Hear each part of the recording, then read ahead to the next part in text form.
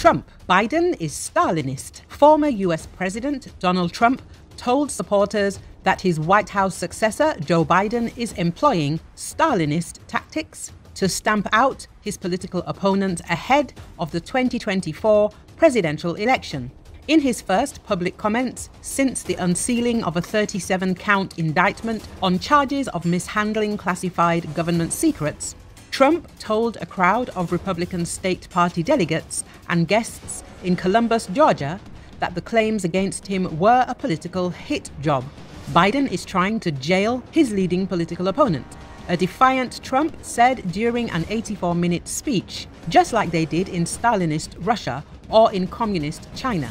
Trump, who was criminally indicted in April in New York on campaign finance charges, added that lawless partisan prosecutors appear to issue him with a subpoena every time I fly over a blue state.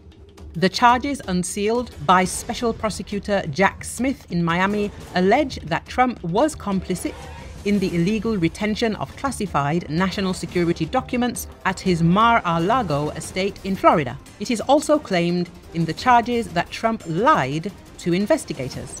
Lawyers representing Trump resigned a day after he was notified of the federal indictment, and Trump, who also told Politico that he'll never leave his campaign for president regardless of any charges against him, made clear one element of his platform for 2024. We will drive out the globalists.